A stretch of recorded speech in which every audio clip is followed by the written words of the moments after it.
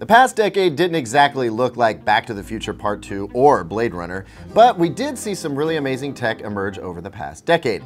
Here's 10 of the best technologies we got over the past 10 years, and in no particular order. We'll let you decide which one is the best, and you can drop your favorite in the comments. Here we go. First up, smart assistants. The idea of a computer you can speak to has been a science fiction dream and sometimes nightmare for decades. But despite passable dictation tools in the 90s, it wasn't until Siri debuted on the iPhone 4S in 2011 that we were introduced to modern smart assistants. Now they don't just understand our requests, they can act on them. Whether you need an answer to a math problem, want to play a video on YouTube, or need driving directions on the spot, today's smart assistants won't just understand what you're asking for, they'll quickly give it to you. While props go to Apple for helping make this tech mainstream, it took Amazon to liberate AI assistants from their smartphone prisons, and now they're pretty much everywhere. Now we come to smartwatches. The idea of a smartwatch has been around since the days of Dick Tracy, but it became a real thing in the 2010s. The breakthrough Pebble Watch came first, and before we knew it, a bevy of competing devices ensued with the Apple Watch and Samsung Galaxy Gear leading the pack. What's more impressive than the fact that smartwatches exist is how far they've come in the past decade. Fitness tracking came quickly and that got us hooked, but it took a few attempts before people realized how exciting and potentially life-saving features like EKG heart rate tracking could be. Now that smartwatches are no longer regarded as just smartphone accessories, look for them to continue carving out their place in the world in the 2020s. Next up is a personal favorite, augmented reality. If you're going to get technical about it, augmented reality existed back in the 60s, but it wasn't until the 2010s that people all started talking about augmented reality like it was an everyday thing. The ill-fated Google Glass was, unfortunately, many people's introduction to AR, and bad publicity sunk that ship in a hurry. But today, AR is widely found as a smartphone feature, and now a growing number of head-up display makers are looking to succeed where Google failed. It's most commonly used for gaming, but other applications like IKEA's IKEA Place app give an indication of how else it could fit into our lives. And all I'm saying is, help me fix my car. When AR can do that and at an affordable price, I'm in. And I think we're close. Now for a different kind of reality. I'm talking about virtual reality. Oculus Rift burst onto the scene as a 2012 Kickstarter, and two years later, it was snapped up by Facebook for $2 billion. Like AR, virtual reality goes back a lot further than the 2010s. I mean, Lawnmower Man, right? Anyone remember that movie? Anyway, it was the decade where it really kicked off. Oculus hasn't become a mass market technology in the way that Facebook might have liked, but the tech is incredibly compelling. Oculus has also been joined by a number of other head-up displays offering virtual reality technology. These range from the HTC Vive headsets to the plug-and-play Google Cardboard. I think it's fair to say that VR is in a much, much stronger place right now than it was a decade ago. How about tablet computers?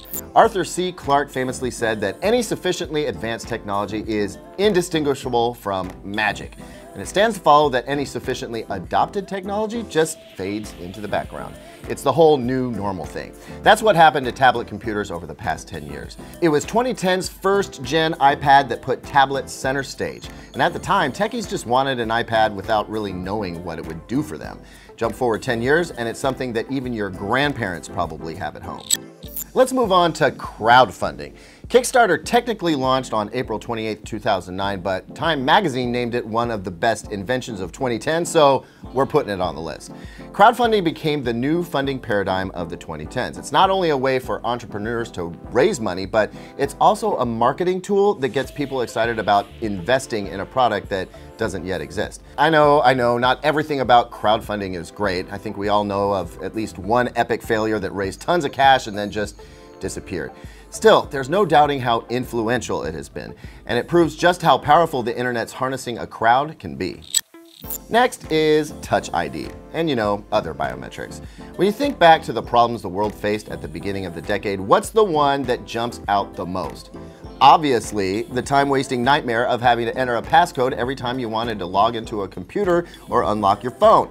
Fortunately, that's no longer an issue. In 2013, Apple brought fingerprint sensors to the iPhone 5S, and in the years that followed, fingerprint scanning tech has become almost standard issue on phones, tablets, and a growing number of computers.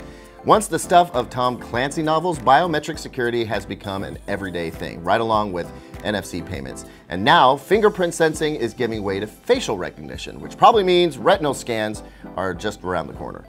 Wireless earbuds. Admit it, the first time you saw wireless earbuds like the AirPods Apple introduced back in 2016, you thought they looked ridiculous. Kids will buy anything these days, you muttered to yourself before tweeting something about how your own wired earbuds made them not only cheaper, but far less easy to lose. Jump forward to today, and you're reading this article wearing your Amazon Echo Buds, AirPods Pro, or Samsung Galaxy Buds, scrolling through your Twitter feed, deleting all evidence of your bad tech predictions of the past. Oh, you aren't? Okay, I guess that's just me. Uh, let's move on to delivery robots. Ask someone in 2010 if they wanted a robot to deliver their takeout order, and they'd probably say, well, yeah, that sounds pretty cool. Ask someone the same question today, and they'll probably say the same thing, only now there's a good chance they might get their wish, and soon. Thanks to the work of pioneering companies like Starship Technologies, fleets of wheeled delivery robots are now rolling out around the world. Longing for a hamburger but don't want to hop in the car to get it? For a small delivery fee, you can select your exact location on an app and a robot will autonomously trundle along the sidewalk to deliver it to you. All you got to do is unlock the robot storage tank with your app and retrieve your order. Delivery drones? They're fast becoming a thing too. In fact, that might almost need to be an entry itself.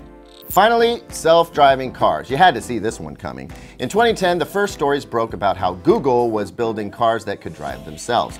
I know work has been going on in this space for a while, but previous attempts at autonomous vehicles were not great.